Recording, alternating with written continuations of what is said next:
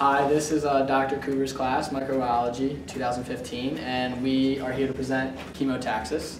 Uh, chemotaxis is actually um, how bacteria react to chemicals in their environment.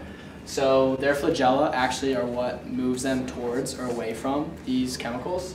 And they, they move in two ways. Uh, when the flagella move counterclockwise, they, uh, the bacteria run. Clockwise, uh, the bacteria tumble, so they go in circles. So there are four scenarios in which a bacteria can move towards a chemical or away from a chemical.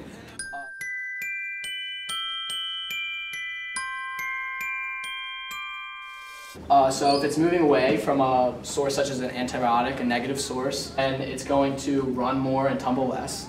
Uh, if it's going towards that um, repellent or antibiotic in this, in this case, it is going to run less, tumble more.